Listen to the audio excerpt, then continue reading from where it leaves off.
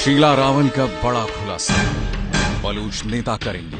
पाकिस्तान का पर्दाफाश। बलूचिस्तान की दर्दनाक दास्तान। एबीपी न्यूज़ आज कर रहा है पाकिस्तान के आतंक का पर्दाफाश। जिस बलूचिस्तान में पाकिस्तान ने जुल्म ढाया है, उसकी आज पोल खोलेगी। हमारी संवाददाता शीला रावल ने विदेशों में रह रहे बलूचिस्तान के लोगों को खोज निकाला है और उन्होंने खोली है पाकिस्तान के पोल। कि किस तरह से बलूचिस्तान में डर और खौफ का राज है। एबीपी न्यूज़ के कैमरे पर बलूचिस्तान के बड़े नेता आज बोलेंगे, बराहम दग बुख्ती, महरान मर्री जैसे बड़े नेता सुनाएँगे पाकिस्तानी फौज और आतंकवादियों के कनेक्शन की कहानी। एबीपी न्यूज़ पर बलूचिस्तान के वो बड़े नेता हैं जो अपने घर छोड़कर विदेशों में शरणार्थियों की ज़िंदगी जीने को मजबूर हैं।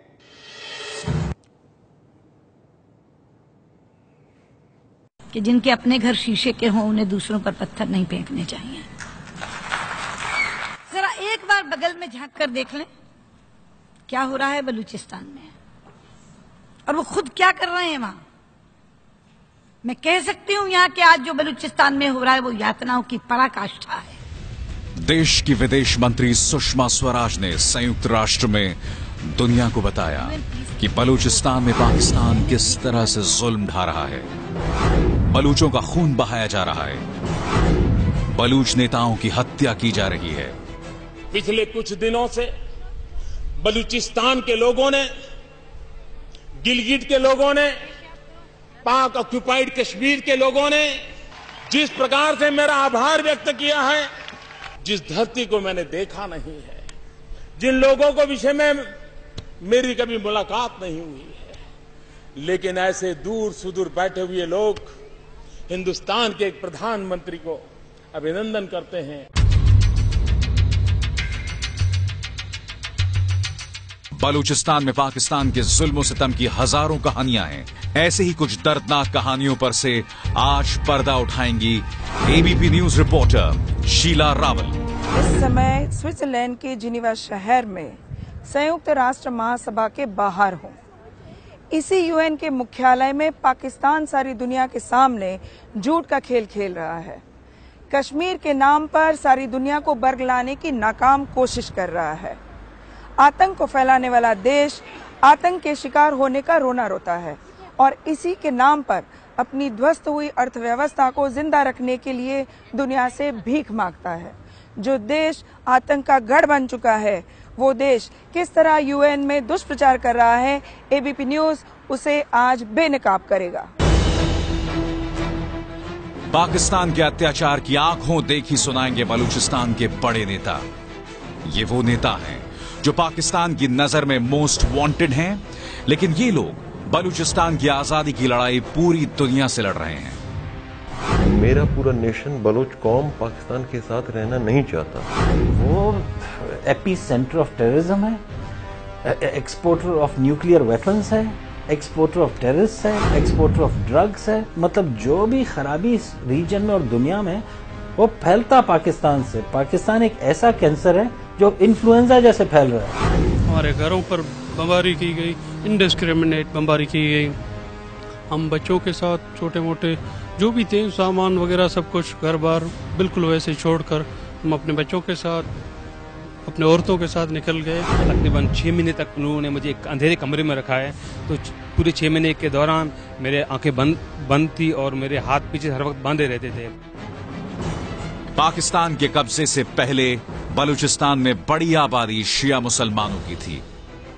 लेकिन पिछले दस सालों में पाकिस्तानी सेना करीब बीस हज़ार बलूचों को मार चुकी है।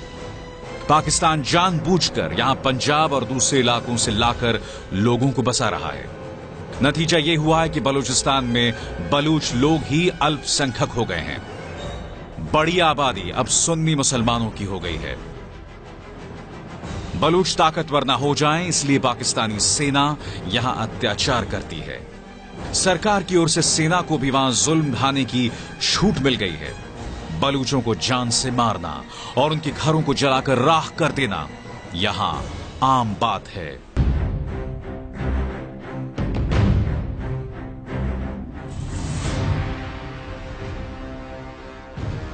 27 मार्च 1948 को पाकिस्तान ने फौज और हथियार के दम पर बलूचिस्तान को अपने में मिला लिया। पाकिस्तान के लिए बलूचिस्तान सोने की चिड़िया है, क्योंकि पूरे पाकिस्तान का एक तिहाई प्राकृतिक गैस यहीं से निकलता है। तेल की भी बड़े भंडार यहाँ मौजूद हैं। सैकड़ों खानों से यहाँ सोना निकाला जा रहा है। तांबे के भी बड़े भंडार हैं। यूरेनियम भी यहाँ की धरती में पाया जाता है। बलूचिस्तान की जिस खनिज संपदा से पाकिस्तान और चीन अरबों डॉलर कमा रहे हैं, वही बलूचिस्तान सबसे पिछड़ा इलाका भी है। पाकिस्तान संयुक्त राष्ट्र में कश्मीर पर पूरी दुनिया से झूठ बोलता है। लेकिन जब बात बलूचिस्तान की होती है तो वो उसे अपना अंदरूनी मसला बताता है। लेकिन आज पाकिस्तान की हैवानियत के शिकार बलूचिस्तान के लोग ही करेंगे पाकिस्तान का पर्दाफाश।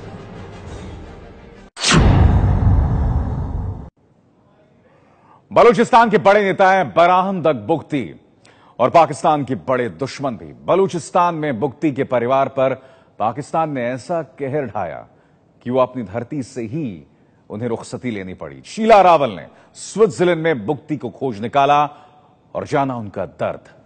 बुख्ती ने पाकिस्तान के खौफ की ऐसी दास्तान सुनाई है कि सुनकर ही रोंगटे खड़े हो जाते हैं।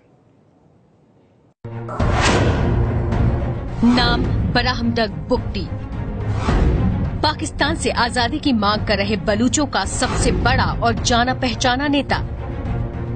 बुक्टी ने पिछले दस सालों से पाकिस्तान की ज़मीन पर कदम भी नहीं रखा है, क्योंकि पाकिस्तान बुक्टी के खून का प्यासा है। पाकिस्तान ने न जाने कितनी बार बुक्टी को मारने की कोशिश की। एबीपी न्यूज़ के कैमरे पर बुक्टी ने सुनाई पाकिस्तान के जुल्म की पूरी कहानी।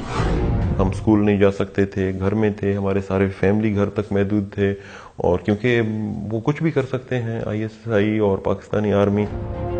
Baloch republican party के अध्यक्ष बरहाम तक बुक्टी का बचपन पाकिस्तानी खौफ के साय में बीता। उस वक्त वो बलूचिस्तान के डेरा बुक्टी में रहा करते थे।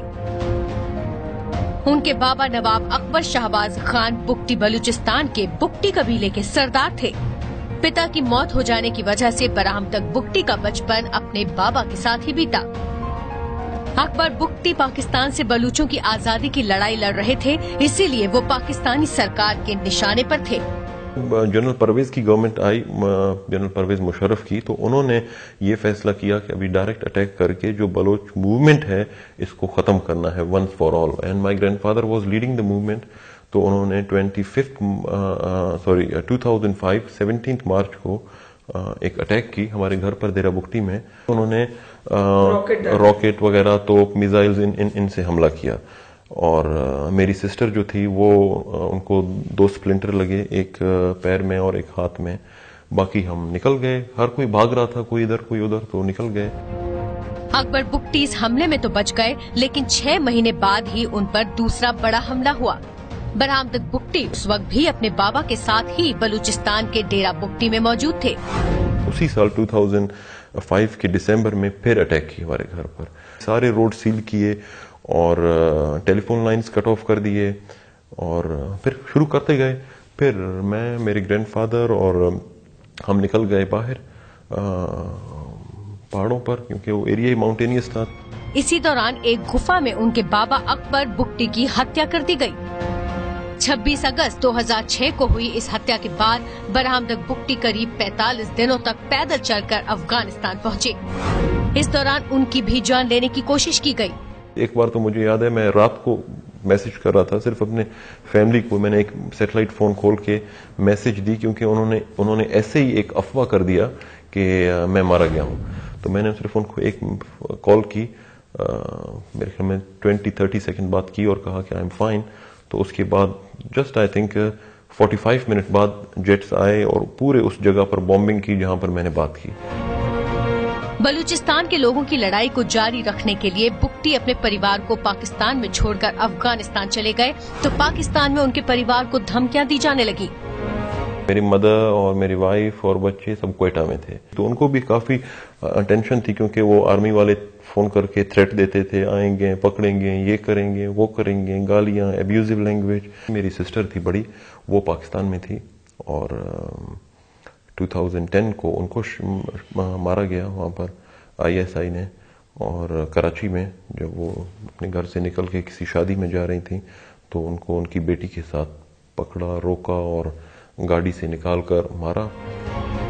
पाकिस्तान से दूर रहकर भी बुक्टी आज बलूचों के संघर्ष की सबसे मज़बूत आवाज़ बन चुके हैं। और अब वो चाहते हैं कि भारत उन्हें राजनीतिक शरण दे और पाकिस्तानी जुल्म का शिकार बन रहे बलूचों की मदद करे। जिनीवा से शीला रावल की रिपोर्ट।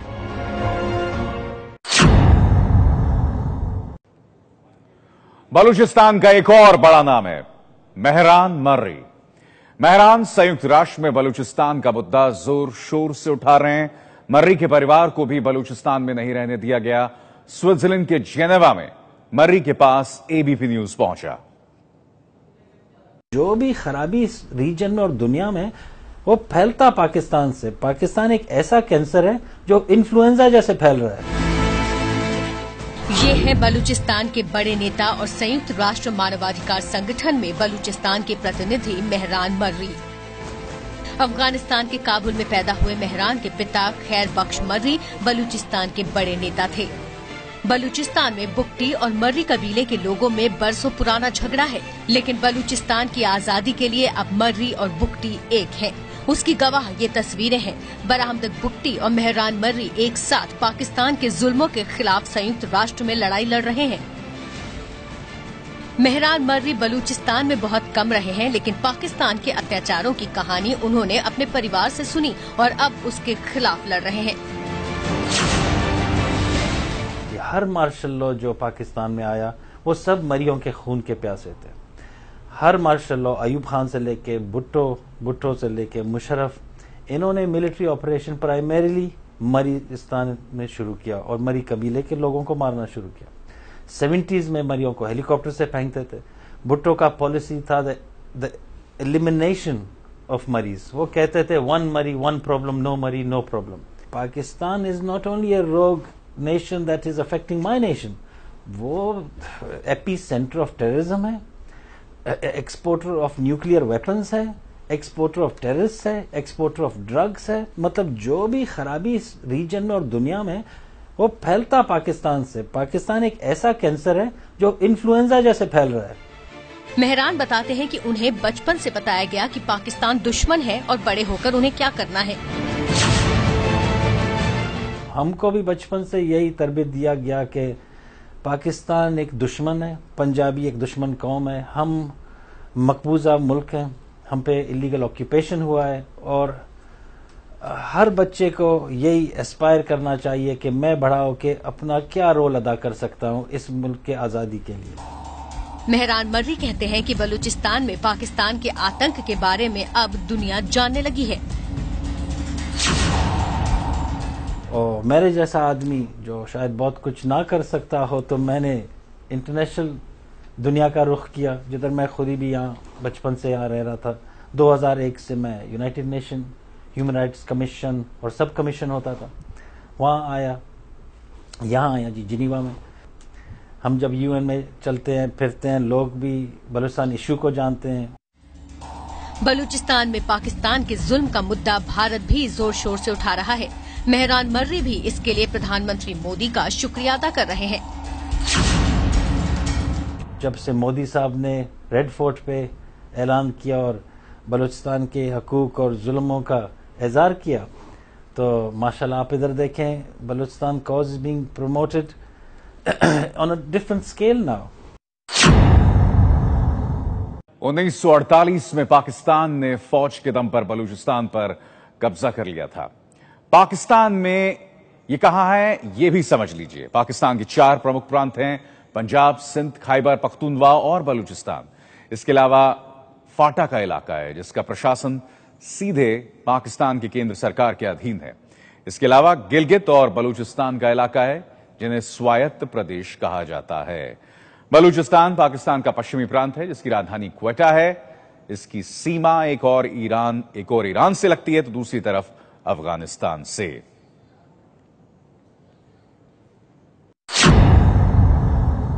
आप देख रहे हैं एबीपी न्यूज़ पर बड़ा खुलासा, बलूचिस्तान में पाकिस्तान का जुल्म बेनकाब। एबीपी न्यूज़ ने बलूचिस्तान छोड़ने पर मजबूर हुए कई बड़े नेताओं और मानवाधिकार कार्यकर्ताओं को खोज निकाला है। ये लोग यूरोप में आ रह रहे हैं और बलूचिस्तान की आज़ादी के लिए लड़ रहे हैं। बलूचिस्तान के नेताओं ने पाकिस्तान के जुल्म की कहानी सुनाई है। खुद पर और परिवार पर पाकिस्तानी फौज के कहर की दास्तान सुनाई है।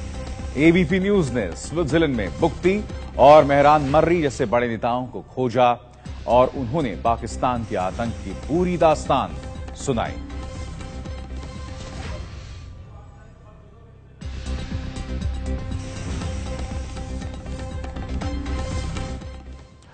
आप देख रहे हैं बलूचिस्तान के नेताओं की जुबानी, पाकिस्तान के आतंकवाद की कहानी।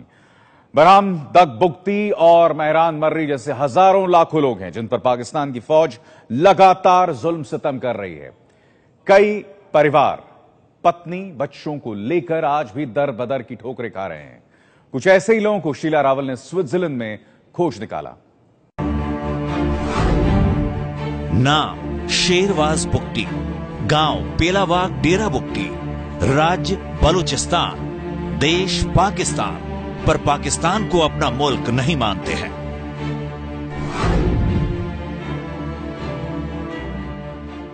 मैं मजबूरन, अभी भी मैं मजबूर हूँ कोई बोलता है कि वो ये पाकिस्तानी है, हम- अच्छा नहीं लगता। हम ये कहते हैं, अभी हम खुद को बलोच कहते हैं, लेकिन बाहर की दुनिया है, दूसरे मुल्क हैं, वो हमें बलोचिस्तानी नहीं मानते।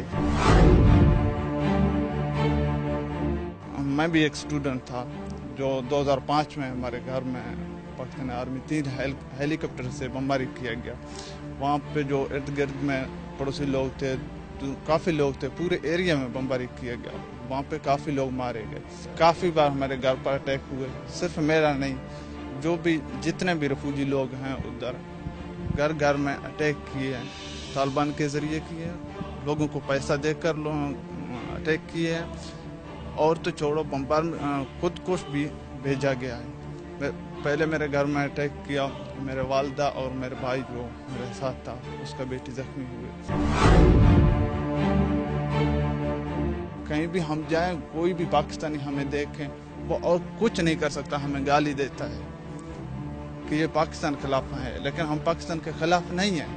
हम पाकिस्तानी नहीं है। हमें ज़बरदस्ती कोई बोला कि आप पाकिस्तानी है तो हम उसके खिलाफ हैं। नाम अब्दुल नवाज़ बुक्टी शहर डेरा बुक्टी काम बलोच अधिकारों की लड़ाई।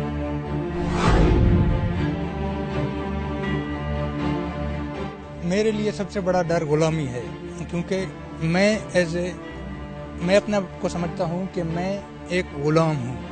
और मेरे लिए सबसे बड़ा डर है कि मेरा आने वाला जो नस्ल है, वो भी गुलाम होगा। और जब तक मैं ज़िंदा हूँ, मेरे, मुझे से हज़ारों नौजवान बलोच ज़िंदा हैं, उनका यही कोशिश होगा कि वो अपने लिए और अपने आने वाली नस्लों के लिए उस डर को ख़त्म करें।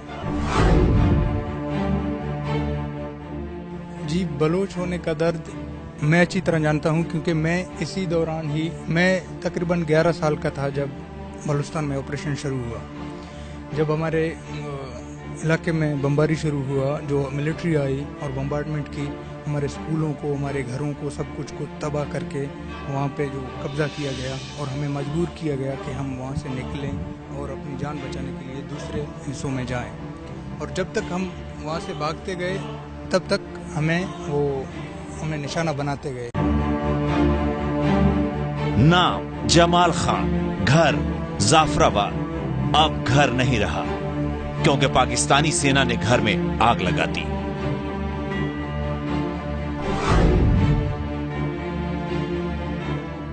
तो मैंने बलूचिस्तान छोड़ा था अ, 2012 में कि एक सुबह के वक्त था वहाँ पे पाकिस्तान की आर्मी हेलीकॉप्टरों और नीचे ज़मीन गाड़ियों के साथ हमारे घर आए थे। हम लोग झाड़ियों में छुप गए तो वहाँ के आगे घर में सारे जो चीज़ थे वो कुछ निकाला कुछ नहीं निकाला वो झुपड़ी थे।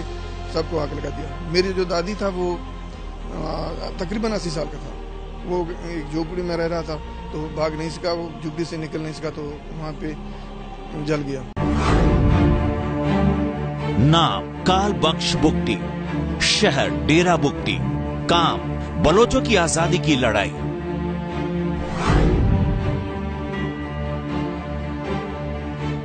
बहुत ही घटन होती है। यहाँ पे हम दिन हर दिन उन्हीं के बारे में सोचते हैं फिर कैसे रहेंगे? अफ़गानिस्तान में अगर यहाँ अ, मुल्क होते तो सेफ़ होते लेकिन वहाँ पे भी हर रोज़ वो खौफ के साए में जी रहे हैं। तो कोशिश करते हैं कि उनसे रबता करें या उनके हालात पूछें जो हम यहाँ पे भी हम लोग यूरोप में रह रहे हैं लेकिन हर रोज़ हम दर्द के साथ जी रहे हैं क्योंकि अपने परिवार से अपने घर वालों से सबसे जुदा हैं लेकिन तहरीक के लिए निकले हुए हैं तो चीज़ें बर्दाश्त करनी पड़ेंगी तो जी रहे हैं। पाकिस्तान में ही जन्मे मशहूर लेखक तारिक फतेह भी बलूचिस्तान की आज़ादी के लिए लड़ रहे हैं। तारिक फतेह भी इस वक्त स्विट्जरलैंड के जेनेवा में हैं। नाम तारिक फतेह जन्म स्थान कराची देश पाकिस्तान। पर पाकिस्तान को अपना देश नहीं मानते। लड़ाई पाकिस्तानियों के जुल्म के खिलाफ।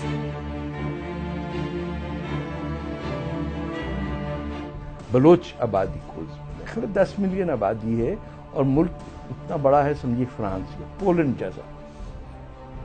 हर शख्स की जबान बदली जा रही है। जहाँ जहाँ हाईवेज बना रहे हैं, ताकि तीन, चीन अपनी जो एक्सपोर्ट और इंपोर्ट करनी है, ग्वादर पोर्ट से, उसे 50-50 मील दोनों साइड पे जो आबादियाँ हैं, उनको उखाड़ के फेंक रहे हैं आप। आप कहाँ तक ये बर्दाश्त करेंगे कि एक पूरी कल्चरल जेनोसाइड हो, किसी सहाफत का, किसी कल्चर का, किसी जबान का, किसी का उठना बैठने का, और फिर वो भी आप करें इस्लाम के नाम पे, कि तुम हम बेहतर हैं, क्योंकि वहाँ पे एटम बम है और हम तुम्हारी, और इन्हीं की ज़मीन पे एटम बम टेस्टिंग भी की। भारत भी बलूचिस्तान में मानवाधिकार उल्लंघन के मुद्दे को संयुक्त राष्ट्र में उठा चुका है। बलूचिस्तान पर भारत का रुख यह है कि पाकिस्तान को पहले अपने घर में मचे घमासान को संभालना चाहिए। न कि उसे भारत के अभिन्न अंग कश्मीर की चिंता करनी चाहिए।